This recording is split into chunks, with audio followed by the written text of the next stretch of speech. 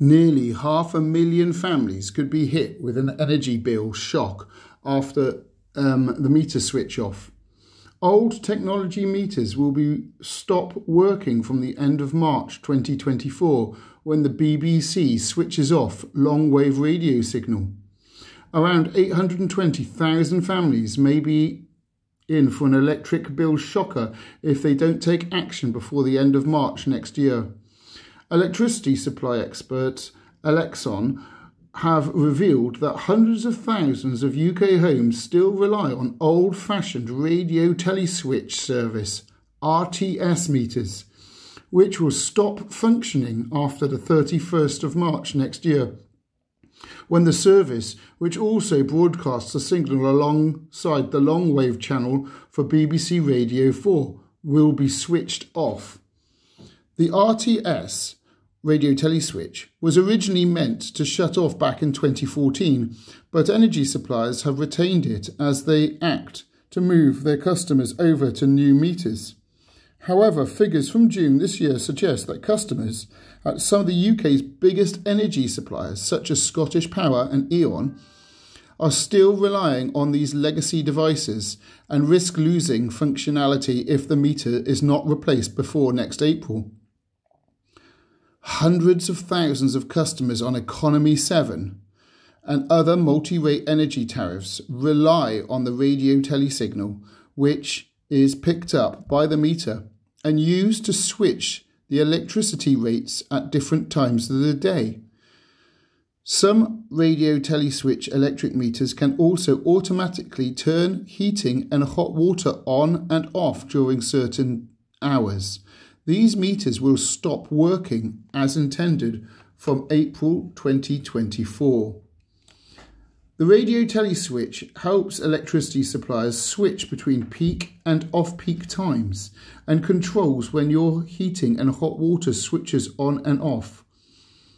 When the signal is switched off, these meters could be left jammed on the peak rate electricity rates depending on when the radio telesignal switch is cut off, which could lead to bill hikes for households affected by the switch off, as the cheaper overnight rates offered by the multi rate tariffs are usually counteracted by much higher daytime or peak rates. This could also leave those with heating systems controlled by radio teleswitches on or off permanently. So your storage heaters could be on permanent charge, off permanently, or stuck on the day rate. And then you would have a huge electricity bill. With less than a year to go, Ofgem has already told suppliers that it was still disappointed with the lack of progress in ensuring that these customers' meters are exchanged for smart variants so they can switch over themselves or have an internal clock built in. The only way to avoid facing these issues expected to arise from the radio teleswitch switch off is to switch to a smart meter. Customers that do so will get access to multi rate energy tariffs, including Economy 7. So you'll have peak and off peak, and you can charge your storage heaters on the off peak and hot water on your dual immersion see my other videos. An Ofgem spokesperson said suppliers have to make sure meters are safe and accurate and sometimes mean replacing the meter. We expect suppliers to communicate clearly to their customers about this.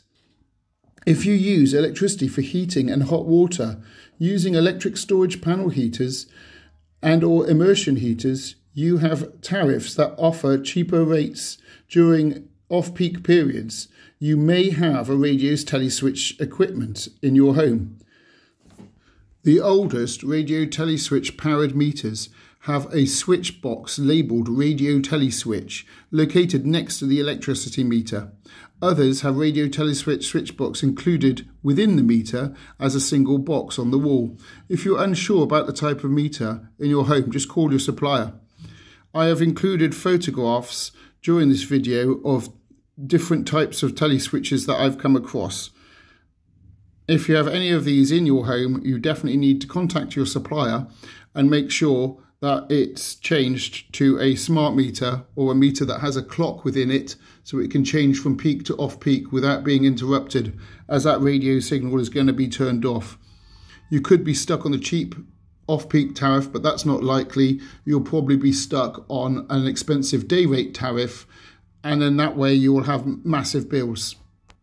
Thanks for watching. Please like and subscribe, and don't forget to check out the description for more details.